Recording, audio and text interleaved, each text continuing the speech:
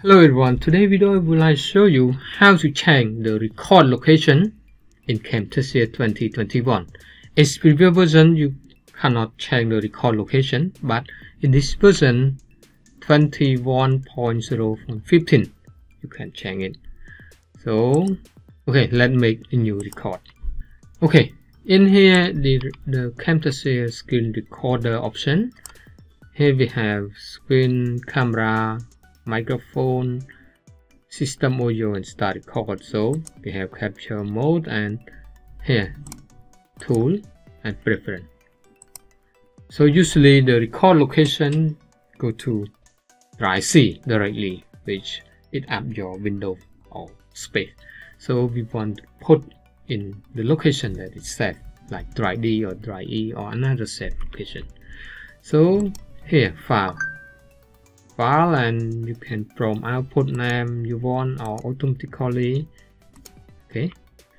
Here the record output folder. Usually in this folder. So let's change to another folder. For example in drive D and I create a new folder.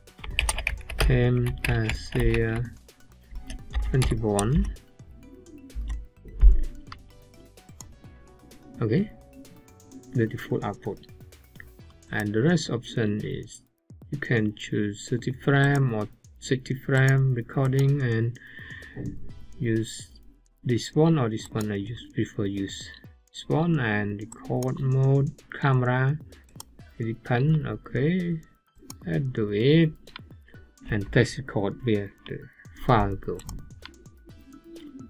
Okay it start recording okay it start record and this one not minimized but of course it will not show up. This one in the record option let close it. Okay here the output. Okay.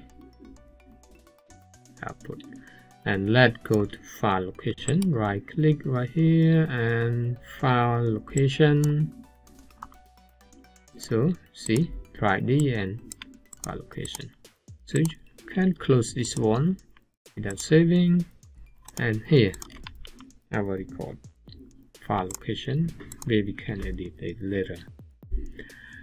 Okay hope you learned something from the video. If you are looking for another Camtasia screen recorder tutorial check link below.